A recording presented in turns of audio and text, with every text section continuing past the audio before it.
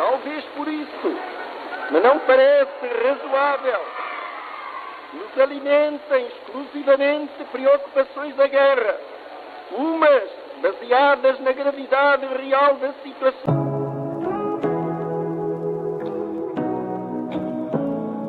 Exclusivamente preocupações da guerra, umas baseadas na gravidade real das situações e sem dúvida legítimas, outras filhas apenas do desvairo de fantasias sobreexcitadas ou mal... Muito antes do início da Segunda Guerra Mundial.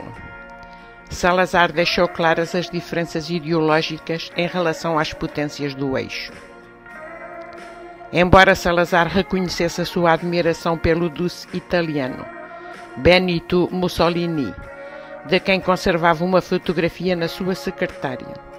Salazar, como católico, esclareceu que o Estado Novo obedecia a limitações de ordem moral que tornavam as leis portuguesas menos severas, os costumes menos policiados e o Estado menos absoluto. Segundo Salazar, a violência fascista não se adaptava à brandura de costumes portugueses. Salazar distanciou-se daquilo que chamou de cesarismo pagão e apelidou Mussolini de oportunista, produto de um país de Cesares e Maquiavel.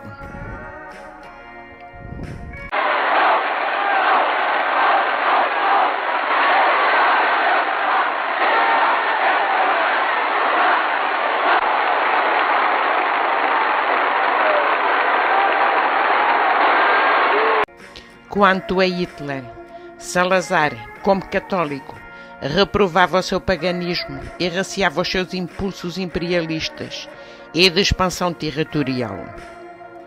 Em 1934, num discurso oficial, Salazar afirmou que Portugal não se fez ou unificou nos tempos modernos, nem tomou a sua forma com o ideal pagão e anti-humano de deificar uma raça ou um império. Quando questionado por António Ferro como vê Hitler, Salazar respondeu: A Europa deve-lhe o grande serviço de ter recuado, com assombrosa energia e com empolgantes músculos, as fronteiras do comunismo. Receio apenas que ele vá longe demais no campo económico e social. E conversando com um diplomata romeno que considerou Adolf Hitler um selvagem sem cultura, Salazar não o seguiu em tal juízo. Deitei água na fervura, apesar de tudo. Hitler era um gênio político, tendo realizado uma obra colossal. Contudo, nos discursos que proferiu, Salazar procurou sistematicamente diferenciar o seu Estado Novo do totalitarismo, criticando o facto de, na Alemanha e na Itália, o Estado ter em si mesmo o seu fim e a sua razão de ser. Segundo Samuel O'Hare, embaixador britânico em Madrid, durante a guerra, Salazar era um grande pensador que detestava Hitler e toda a sua obra dado que o seu estado corporativo era fundamentalmente diferente do estado concebido pelo nazismo ou o fascismo.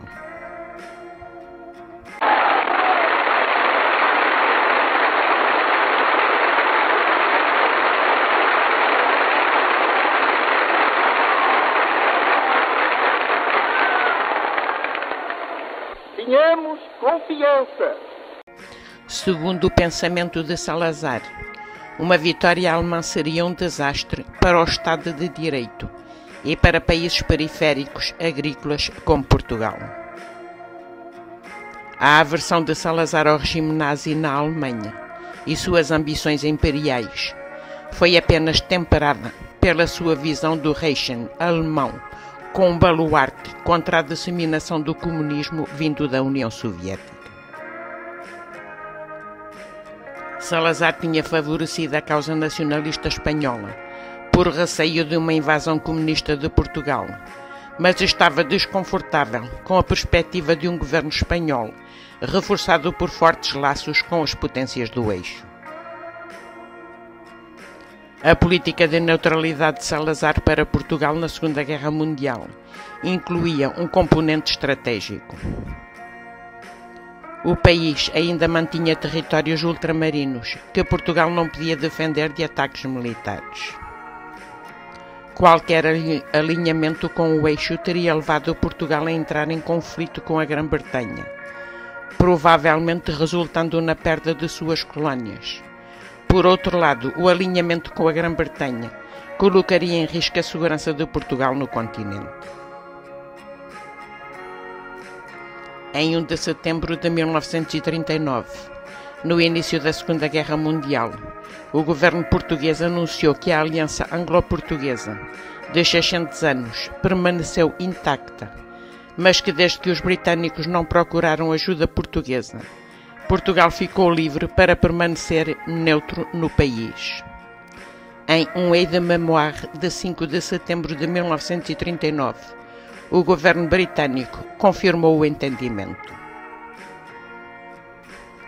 Um dos pilares da política de neutralidade de Salazar é a criação, junto com a Espanha, de um bloco ibérico neutro. Este bloco começa a ser desenhado ainda antes da guerra, quando, a 20 de setembro de 1938, o embaixador de Portugal em Espanha, Pedro Teotónico Pereira, preocupado com as simpatias da Espanha franquista para com a Alemanha e a Itália. Envia um telegrama a Salazar, sugerindo-lhe que se celebrasse um pacto de não agressão com o país vizinho. Após longas negociações, a 17 de março de 1939, é assinado em Lisboa o Tratado Luso-Espanhol de Amizade e Não Agressão, também denominado Pacto Ibérico. Mais tarde, em 5 de julho de 1940, após a capitulação da França, e com os tanques alemães nos Pirineus, e numa altura em que alguns ministros de Franco aventavam a hipótese da Espanha poder vir a entrar na guerra pelo lado do eixo e ocupar Portugal, Salazar envia instruções para o embaixador de Portugal em Madrid no sentido de se poder levar um pouco mais longe o tratado de amizade e não agressão com a Espanha. Na sequência de esforços diplomáticos desenvolvidos por Portugal, a 29 de julho de 1940, é assinado em Lisboa o protocolo adicional ao Tratado de Amizade e não agressão entre Portugal e Espanha, reiterando a neutralidade peninsular. Com este tratado assim reforçado, os dois países que se encontravam ideologicamente em campos opostos, a Espanha como simpatizante da Itália e da Alemanha, e Portugal como simpatizante da Grã-Bretanha, conseguem encontrar uma forma de manter a sua neutralidade na guerra. No caso de Portugal, o tratado também funcionou como um travão para aqueles que em Espanha aventavam a hipótese de Espanha ocupar Portugal como era o caso do ministro dos Assuntos Exteriores espanhol e cunhado de Franco, Ramon Serrano Suner.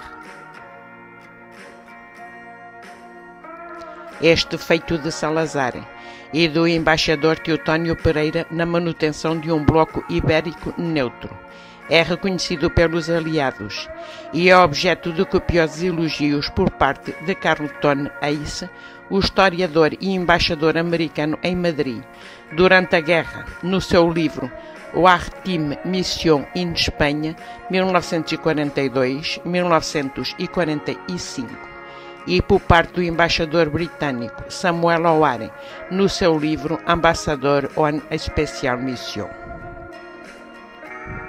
Em 1940, a Life considerou Salazar como o maior português, desde Henrique o Navegador, e o melhor ditador de sempre, um dirigente benevolente de um povo que é apresentado como trabalhador e apático, bebendo vinho muito bom e barato, noite dentro, enquanto houve o fado. Os britânicos não escondem as suas simpatias pelo regime de Salazar e informam que a Universidade de Oxford tinha decidido conferir-lhe o grau de doutor honoris causa. O historiador Felipe de Menezes comenta que Oxford passou um cheque em branco à máquina de propaganda do regime. Passado pouco tempo, Winston Churchill escreve a Salazar, felicitando-o pela sua capacidade de manter Portugal fora da guerra, acrescentando que, tal como em muitas outras ocasiões, ao longo dos muitos séculos da aliança anglo-portuguesa, os interesses britânicos e portugueses são idênticos nesta questão vital. Em visita a Lisboa, o diplomata britânico Sir George Rendell, que havia estado em Lisboa durante a Primeira Guerra Mundial, faz um balanço entre o Portugal das duas guerras e afirma que tinha sido bem mais difícil lidar com o Portugal aliado da Primeira Guerra Mundial do que com o Portugal ordeiro e neutro do professor Salazar.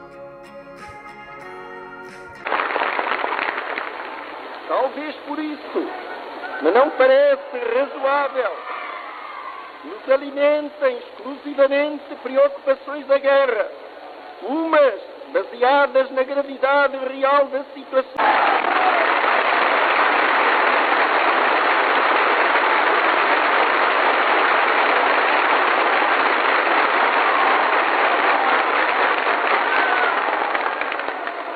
Tenhamos confiança. Em 1941, o Japão invade Timor-Leste e ocupa as ilhas de Lapa, São João e Montanha, pertencentes à República da China, e divide a administração com o governo português de Macau. As ilhas voltariam após o fim da guerra à soberania chinesa. Em Timor, ocorrem os únicos combates em que participam forças portuguesas durante a guerra. Apesar de nunca se estabelecer formalmente o estado de guerra entre Portugal e o Japão, militares e voluntários civis portugueses combatem ao lado das tropas australianas e holandesas contra os invasores japoneses. Na Austrália é inclusive formada a primeira unidade militar paraquedista portuguesa, que é lançada na retaguarda das linhas japonesas, para realizar operações de guerrilha contra os invasores, não sendo de excluir a possibilidade de as relações diplomáticas entre Portugal e o Japão obrigarem por vezes ao abastecimento de alguns produtos às tropas japonesas, como medicamentos e correspondência ao material médico por intermédio da Cruz Vermelha. Em novembro de 1943, o embaixador britânico em Lisboa, Sir Ronald Campbell, escrevia parafraseando Salazar, que a estrita neutralidade era o preço que os aliados pagavam por benefícios estratégicos, advindos da neutralidade de Portugal, e que se a neutralidade, em vez de ter sido rigorosa, tivesse sido mais benevolente a favor da Grã-Bretanha, a Espanha inevitavelmente ter-se-ia lançado de corpo e alma nos braços da Alemanha, e se isso tivesse acontecido, a península teria sido ocupada seguindo-se a ocupação do norte de África e o curso da guerra teria sido alterado para a vantagem do eixo. A manutenção da neutralidade portuguesa nem sempre foi bem aceita pelas duas partes da contenda, tendo a questão do wolframio sido de particular delicadeza. Nos primeiros anos da guerra, Salazar estava convencido que, caso não vendesse wolframio aos alemães, estes viriam buscá-lo pela força e, por outro lado, Portugal necessitava desesperadamente de importar da Alemanha fertilizantes agrícolas e aço, mercadorias que os aliados não estavam em condições de vender a Portugal. Com o ano de 1944, Londres intensifica as pressões para que Portugal pare de vender à Alemanha o wolframio, que Portugal também vendia à Grã-Bretanha e aos Estados Unidos. Quando a pressão sobre Portugal se torna insustentável, e não obstante Salazar ter por indigno ceder a uma pressão exterior, e considerando uma violação da neutralidade vender wolframio apenas a um dos lados beligerentes, Salazar aceita o pedido dos britânicos, em nome da aliança, mas por virtude da neutralidade opta pela suspensão das vendas a ambos os lados da contenda, prescindindo assim de uma importante fonte de receita para os cofres do Estado. Salazar, segundo Key, não era o tipo de homem para oportunicamente saltar para o lado vencedor e, por uma questão de princípio, manteve a neutralidade portuguesa até o último dia da guerra. Hugo Kay observa que a sua abordagem geral foi tentar atender ambos os lados do conflito, em proporções consistentes com a sua alegação de neutralidade. Esta obsessão de Salazar pela estrita neutralidade leva a que Teixeiro de Sampaio, secretário-geral do Ministério dos Negócios Estrangeiros, seguindo as praxes diplomáticas para falecimentos de chefes de Estado com os quais Portugal mantinha relações diplomáticas, após o suicídio de Hitler, mandou colocar as bandeiras portuguesas a meia haste durante três dias, o único país do mundo que o fez. O luto provocou uma onda de protestos internacionais e grande escândalo interno, escreve o historiador Fernando Rosas.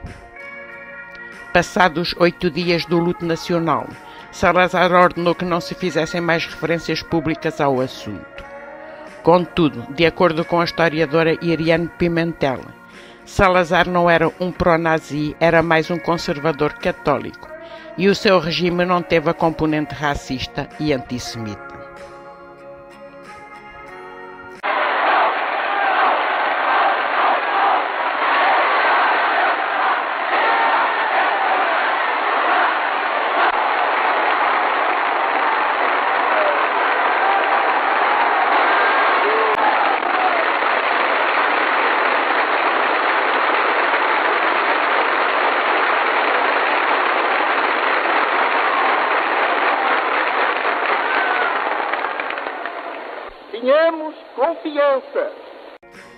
Na sequência destes acontecimentos, Teixeira de Sampaio apresentou um pedido de demissão a Salazar. Imperturbável, Salazar responde-lhe com uma nota curta contendo um provérbio: Ora a hora, Deus melhora.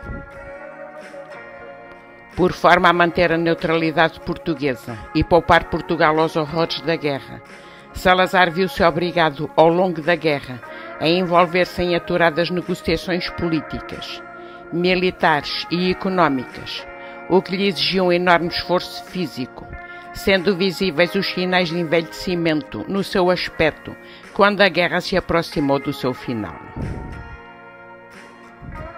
Historicamente, as Ilhas Atlânticas sempre foram geograficamente vitais para o domínio do Oceano Atlântico e com o advento da aviação, essa importância aumentou.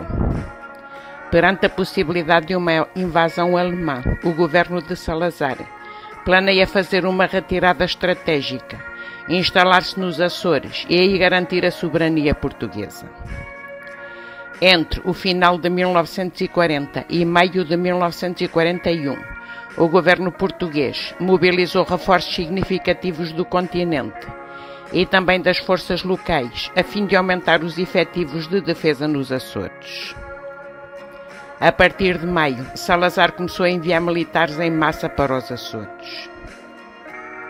Em 1943, a navegação no Atlântico Central estava ameaçada pelo boates alemães, que estavam bem presentes na zona dos Açores e afundavam muitos dos navios aliados, principalmente os que iam em direção ao norte de África e à Itália. Na Cimeira de Tridão, em maio de 1943, que reuniu em Washington Roosevelt, Churchill e os chefes militares dos dois países, foi decidida a invasão dos Açores.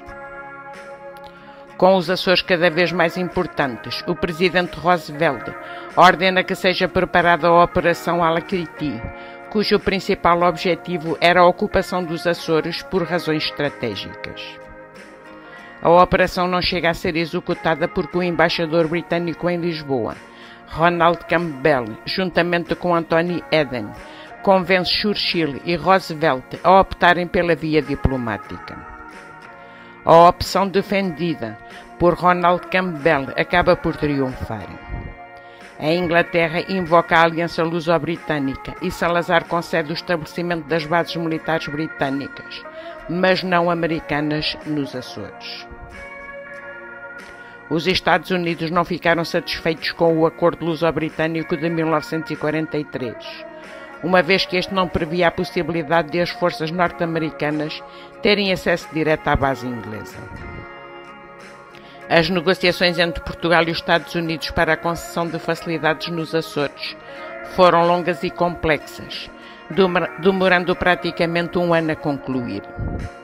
Inicialmente conduzidas pelo jovem Charles d'Affaires em Lisboa, Jorge Quenan, o acordo final entre os dois governos seria assinado a 28 de novembro de 1944 por Salazar e pelo embaixador Henri Norweb. Portugal concedia aos Estados Unidos a utilização sem restrições da base aérea de Santa Maria. Salazar negocia como contrapartida o fornecimento de armamento. Poderia a Alemanha vir a atacar Portugal e a garantia da restituição da soberania portuguesa a Timor no fim da guerra.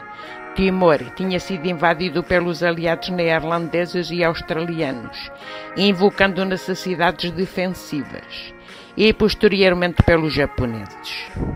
Salazar também conseguiu por parte dos Estados Unidos o compromisso formal de respeitarem a soberania portuguesa em todas as colónias portuguesas. Salazar sempre se manifestou contra o antissemitismo nazi. Em 1937, publicou uma compilação de textos, Como se levanta um Estado, onde criticou os fundamentos das leis de Nuremberg e considerou lamentável que o nacionalismo alemão estivesse vincado por características raciais.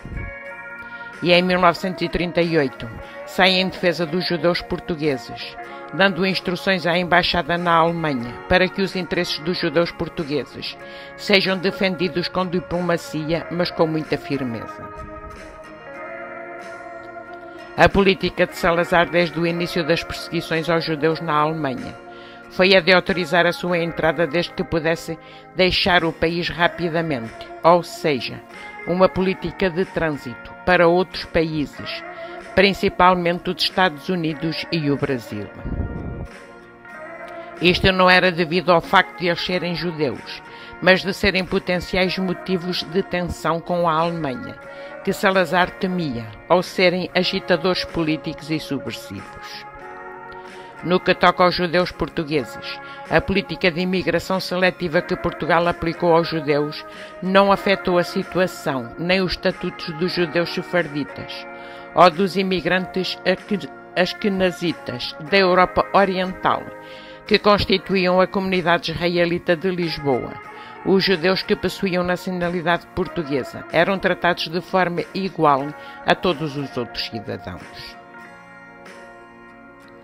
com o início da guerra e não obstante a fiscalização e o rigor nas fronteiras serem cada vez mais apertados. Todas estas medidas acabariam por falhar amplamente, já que às entradas clandestinas juntar-se-iam a falsificação de documentos e as falsas declarações. Para pôr cobro aos procedimentos irregulares que na época se verificavam em muitas das embaixadas portuguesas, Salazar assina a circular número 14 do MNE, distribuída a 11 de novembro de 1939, que obrigava os serviços consulares a consultar a PVDE e o Ministério antes de concederem vistos. Por outro lado, a partir de 1940, os pedidos de vistos dos consulados passariam a ser indeferidos a polacos, apátridas, russos, judeus, checos, ex-alemães, a holandeses, a belgas em idade militar e ainda aqueles que pretendessem trabalhar em Portugal. A Circular 14 afirmava explicitamente que não tinha qualquer intenção de obstruir ou atrasar a concessão de vistos a passageiros em trânsito para outros países, utilizando Lisboa como ponto de embarque. Ou seja, os consulados ficavam autorizados a conceder com autonomia vistos para Portugal em todos aqueles casos em que o passageiro demonstrasse ter um bilhete de saída do território português, bem como um visto de entrada no país de destino. Esta circular 14 tem sido muito criticada, sobretudo por aqueles que querem atacar o Estado Novo, mas é justo que se diga que as regras estabelecidas por esta circular eram bem menos restritivas que a de outros países, como é o caso da Suécia, Suíça, Estados Unidos, etc., e Canadá, e o caso mais extremo da Grã-Bretanha, que logo a seguir à declaração de guerra, cancelou por completa a concessão de vistos, com receio da entrada de inimigos infiltrados. Portugal, para tal, como os outros países, tentava proteger-se das entradas indiscriminadas de eventuais agitadores políticos, criminosos, apátridas, etc. Por outro lado, como escreve Abraham Milagro, Portugal, país pobre, não tinha condições de receber hordas de refugiados. Contrariando as instruções de Salazar, Aristides de Sousa Mendes, cônsul português em Bordeus, concedeu vistos em grande número, diz que a 30 mil, mas segundo Abraham Milgram, historiador de Yad Hashem, num estúdio publicado em 1999 pelo Shoah Resource Center International School for Holocaust Study, a diferença entre o mito dos 30 mil e a realidade é grande. O MNE só se dá verdadeiramente conta da desobediência de Sousa Mendes no dia 20 de junho, quando é surpreendido por uma nota enviada pela Embaixada Britânica, que se queixa de que o consul português está a proceder à passagem de vistos fora do horário de expediente, para poder receber mais emolumentos e que, adicionalmente, estava a exigir uma contribuição indevida para um fundo de caridade. Não era a primeira vez que Aristides era acusado de estar a exigir indevidamente contribuições para fundos de caridade a troco de serviços consulares. Tal já havia ocorrido em 1923, quando o consul se encontrava em São Francisco. A desobediência de Sousa Mendes também inclui o crime de falsificação de documentos. Para o casal luxemburguês Mini, em maio de 1940, quando o exército francês ainda resistia heroicamente à invasão alemã. Paulo Mini está em idade militar e quer fugir da mobilização para o exército luxemburguês. Sousa Mendes conhece a mulher e quer ajudá-la. Decide então falsificar os documentos e fazer Paulo passar por cidadão português, o que lhe permitirá, iludindo as autoridades fronteiriças francesas, escapar à mobilização. Nesta altura, Aristides arriscou-se bastante. A falsificação de documentos é um crime grave, punível com pena de prisão. O facto de Aristides ser funcionário público constituiu uma agravante. Mais tarde, no processo disciplinar que lhe é movido, a acusação decide desviar o olhar deste incidente, poupando Sousa Mendes a uma condenação certa, considerando um caso fora do âmbito das competências do MNE, ou seja, um caso de polícia e justiça. Em muitos artigos de jornais tem vindo a ser publicado que Sousa Mendes, com 14 filhos para sustentar, foi expulso da carreira e privado da sua reforma, vindo a morrer na miséria. No entanto, em 1940, os doze filhos vivos de Aristides já eram, na sua maioria, adultos, apenas quatro ainda eram menores. Destes quatro, três eram legítimos e o quarto, a futura Marie Rose, ainda se encontrava no vento de André Sibial, a amante francesa de Sousa Mendes. Na verdade, Aristides Sousa Mendes pôde usufruir até à sua morte em 1954 de um salário completo de consul de primeira classe, 1.593 escudos e 30 centavos mensais, muito acima da média nacional da época, o que dificilmente se poderá considerar miséria. Rui Afonso, um dos biógrafos de Aristides, chama-nos mesmo a atenção para o facto de que, embora o salário de Aristides não pudesse ser considerado principesco a verdade é que na época correspondia ao triplo do salário de um professor.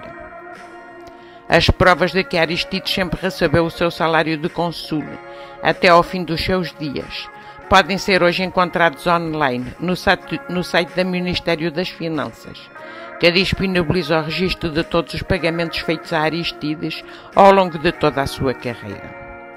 Também nos arquivos da Ordem dos Advogados existe uma carta assinada pelo próprio Sousa Mendes, em que ele mesmo refere estar a oferir um vencimento de vencimento de aposentação de 1595 escudos e 30 centavos.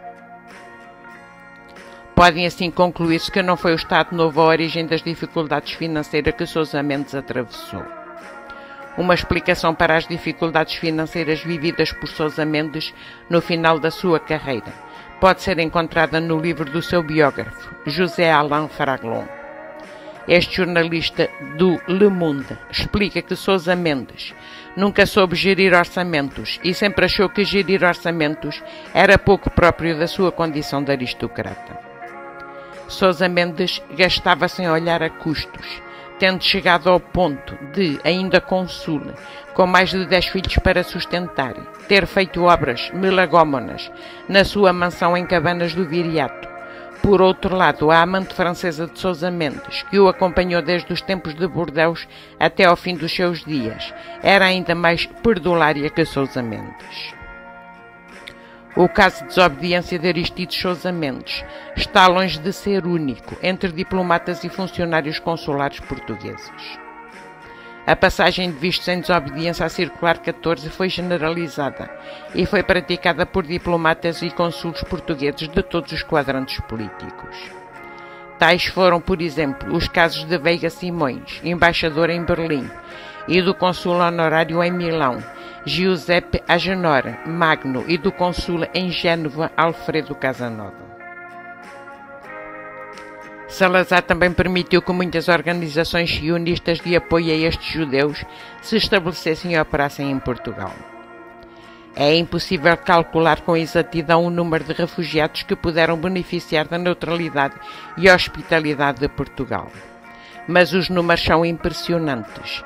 As estimativas vão desde 100 mil até 1 milhão, notável para um país cuja população rondava os 6 milhões menos mediáticos, mas heroicos, são os casos ocorridos em Budapeste, em 1944, ano da invasão da Hungria pelas tropas alemãs. Dois diplomatas portugueses, com a anuência de Salazar, Sampaio Garrido, ministro plenipotenciário em Budapeste, sensibilizado com os perigos que os judeus corriam no território húngaro após a invasão alemã concedeu asilo diplomático a judeus na Embaixada Portuguesa, concedeu passaportes provisórios e vistos coletivos. A Embaixada é, entretanto, atacada pela Gestapo e Sampaio Garrido, por procura precaução, é aconselhado a refugiar-se na Suíça. Assume então as funções Carlos de Lis Teixeira Branquinho, que, correndo o perigo de vida, continua a auxiliar refugiados judeus. Estima-se que Teixeira Branquinha e Sampaio Garrido tenham salvado mais de mil judeus dos campos de extermínio nazis.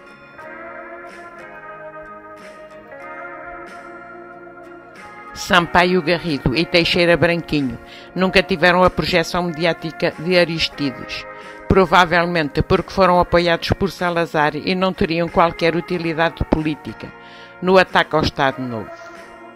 Sampaio Garrido recebeu a título posto a Medalha de Justa entre as Nações pela sua ação de proteção e salvamento dos judeus húngaros. A distinção foi decidida em 2 de fevereiro de 2010 pelo Yad Yashem, Autoridade Nacional para a Memória dos Mártires e Heróis do Holocausto, criada em 1953 pelo Estado de Israel. A posição da neutralidade de Portugal e a consequente abertura dos canais diplomáticos e comerciais, com ambas as partes beligerantes, a balança comercial portuguesa manteve saldo positivo durante boa parte do conflito, nomeadamente nos anos de 1941, 1942 e 1943. Nestes anos, as exportações ultrapassaram as importações, facto que não se verificava desde dezenas de anos. Esta hábil gestão de neutralidade trouxe-lhe, no final da guerra, os benefícios da paz, sem ter de pagar o preço da guerra. Portugal foi uma das poucas zonas de paz no mundo a ferro e forro e fogo. Serviu de refúgio a muitas pessoas de várias proveniências. Um desses refugiados foi o armênio Calouste Gulbenkian, que permaneceu no país, tendo legado uma das mais importantes instituições ao serviço da cultura em Portugal.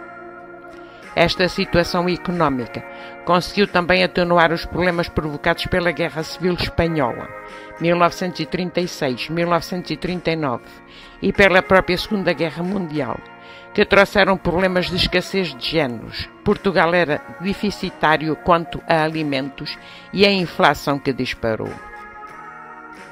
Em Portugal, embora alguns apontassem méritos a Salazar no que respeita à reorganização financeira, à restauração económica e à defesa da paz, muitos entenderam que tinha chegado a oportunidade da mudança política.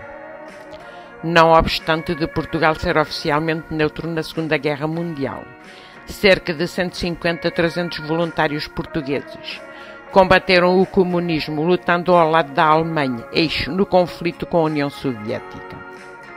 A maioria ingressou como voluntária na Divisão Azul, que ingressou no conflito na Frente de Leste entre 1942 e 43, sobretudo no cerco de Leningrado. Também se alistaram na Divisão Azul voluntários russos, franceses, italianos, belgas, argentinos, cubanos, etc.